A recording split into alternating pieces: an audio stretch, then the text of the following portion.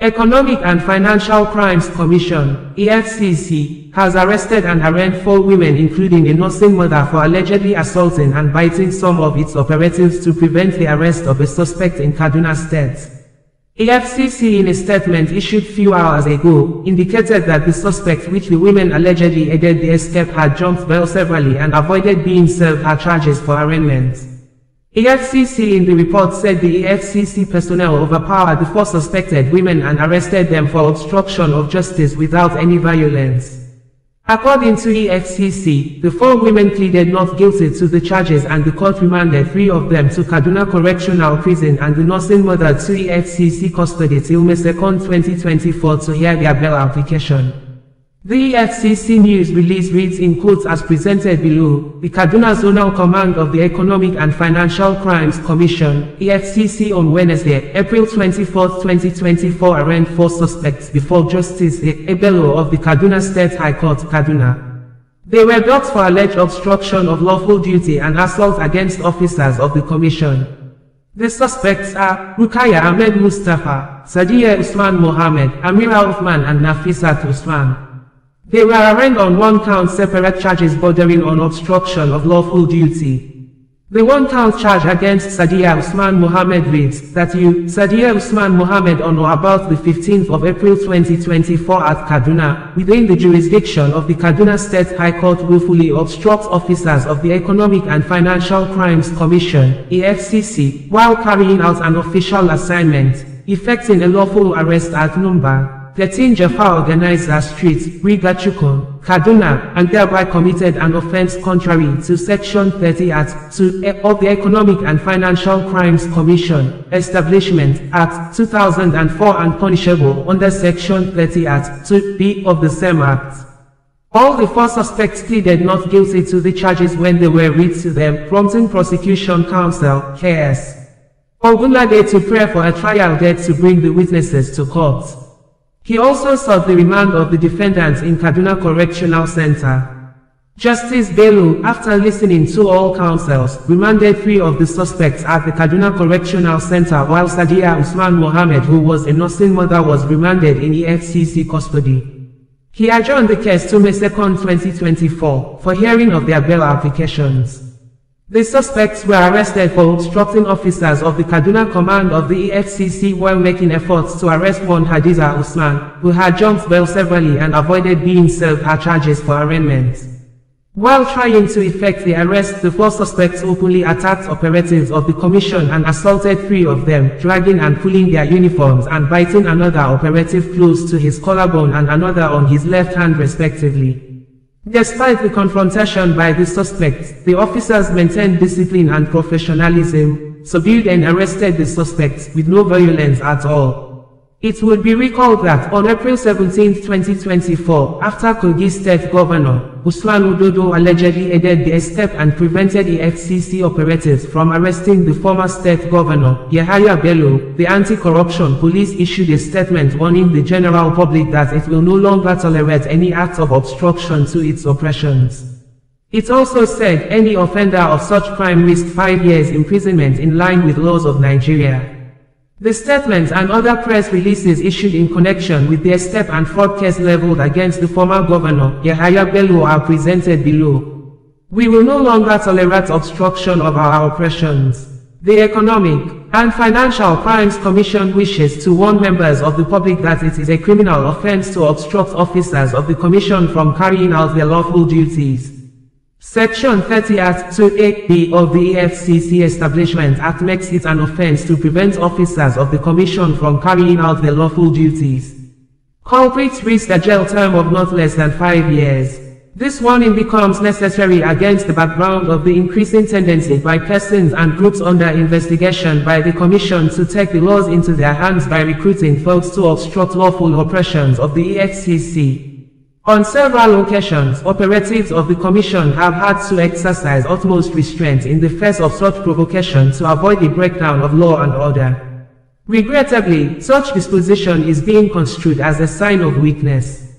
The Commission, therefore, warns that it will henceforth not tolerate any attempt by any person or organization to obstruct its operation as such will be met with appropriate punitive actions.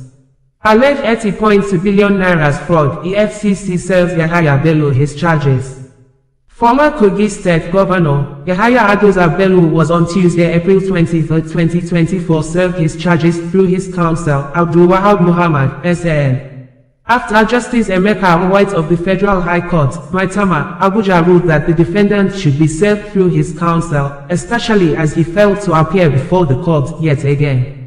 The Economic and Financial Crimes Commission, EFCC is prosecuting Yahaya Bello alongside his Ali Bello, Dauda Suleiman and Abdusalam Hudu on 19 count charges bordering on money laundering to the tune of 80 nairas, 246, 470,000 and 89 points at Atkobo. At Tuesday's sitting, Bello's counsel, Adeola Adedipe, SAN, Fred the court to quash the arrest warrant granted the commission against Bello, arguing that Tuesday's substituted service to the defendant through his counsel Abdul Wahab Muhammad, SAN, has invalidated the arrest warrant. The court is expected to do justice at all times. A warrant of arrest cannot be hanging on Bello's neck when we are in this court. It appears to us that the defendant will not get justice because the court granted a warrant of arrest before service, he said. However, prosecution counsel, Kemi Pinheiro, SAN, in response, urged the court to decline hearing on any motion from Bello's legal team until the defendant is physically present in court for his arraignment. The stage we are in now is to determine the whereabouts of the defendant. He cannot be in his house while the trial proceeds without him coming here to take his plea. My lord, this is a criminal matter not a civil matter, he must come and take his plea. It is a matter of over 80 billion nairas. All these applications by the defendant are to prevent his arraignment and frustrate the commencement of trial, he said. After hearing both counsels, Justice Nwite adjourned ruling on the defense's application, seeking a revocation of the arrest warrant on Bello till May 10, 2024. Yahaya Bello declined the FCC's invitation for interrogation Olukoyede. The executive chairman of the Economic and Financial Crimes Commission, EFCC, Ola Olukoyede has disclosed that he made personal efforts to invite a former governor of Kogi State, Yahaya Adoza Bello, to respond to investigations regarding his alleged involvement in money laundering to the tune of 80 billion, 246 million, 470,000 and 89 naira, 88 kobo. Olukoyede stated this in Abuja on Tuesday, April 23, 2024 while addressing media executives at the corporate headquarters of the EFCC. According to him, he had a telephone conversation with Bello offering him ample opportunities to present himself for interrogation by investigators. Of the EFCC, on my honor, I put a call to him to honor him as a former governor. He said I can't come, claiming that a certain lady has surrounded the EFCC with over 100 journalists to embarrass or intimidate him and all that stuff. I said if that is your fear, I will make you come directly to my floor. I will invite my operatives to interrogate you in my own office. What could be more honorable than that? Do you know what he said? Can't they come to my village? My director of investigations also sent a message to him, he said. The EFCC's boss said he was worried at the reports of larceny available to the EFCC concerning the former governor. A sitting governor, because he knew he was going, he moved money directly from the government's accounts to a bureau de change to pay his children's school fees in advance, $720,000 in anticipation that he was going to leave government house, he said. Olukoyede also disclosed that the EFCC, in its bid to ensure the safety and stability of the foreign exchange market, has uncovered a new fraudulent scheme called P2P, peer-to-peer -peer trading scheme. The platform, according to him, is operating outside the official banking and financial corridors, with more than 300 accounts linked to it already frozen by the EFCC. He reaffirmed the commitment of the Commission to the economic growth and development of the country, promising that the FCC would not relent in the exercise of its mandate. He told the media executives that the Commission has recovered more than 120 billion naira from fraudsters within six months and secured more than 1,300 convictions.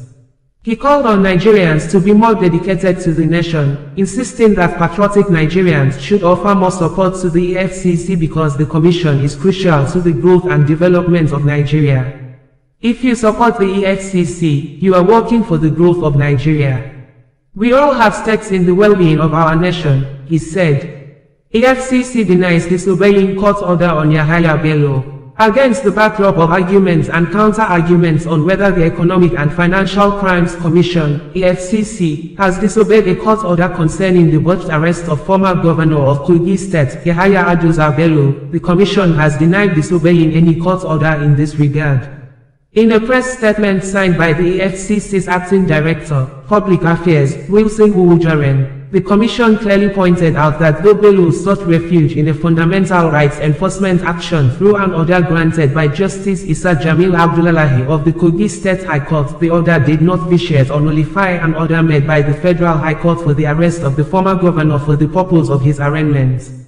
The enrolled order of the Kogi State High Court only granted an order to enforce Bello's right to personal liberty and freedom of movement. It didn't preclude the Federal High Court to make any order as it may deem just in the determination of the rights of the applicant and the respondent as may be submitted to her for consideration and determination, he said.